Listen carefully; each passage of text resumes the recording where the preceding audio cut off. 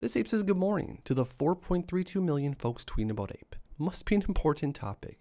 AMC apes are winning. So this is obviously very cool to see. And if you are an avid Twitter user, it's almost like every single day AMC, ape, or something along those lines is trending. And for good reason. We are the largest retail based holders of any stock across the market.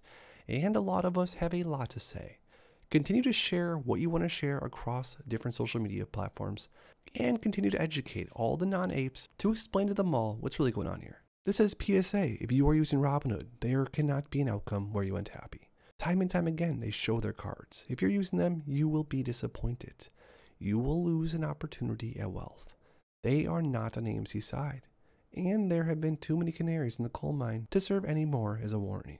So, this is a good topic to go over, especially from an ape like myself that actually used to use the Robinhood app. Years and years ago, when I first learned about the stock market and got involved, I downloaded the Robinhood app and bought some shares on it.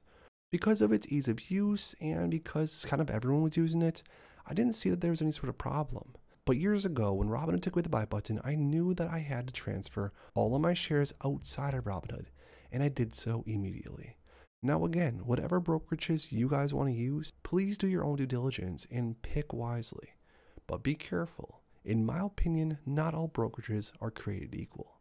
Does anyone else remember not that long ago when the mainstream media and pretty much everyone was telling all the AMC stock investors that the cinema, that the theaters are going to be something of the past, that the cinemas are dead and that streaming is the only way in the future that humans are going to want to enjoy new movies, shows, etc. Now, this is just one picture of one cinema, of course. And I don't know about you guys, but this must all be paid actors because the mainstream media has told us for a few years now that AMC fundamentally, the AMC theaters business is nothing to be invested in. But clearly, people love the theaters. We see the numbers, we see AMC breaking records. The theaters are here to stay.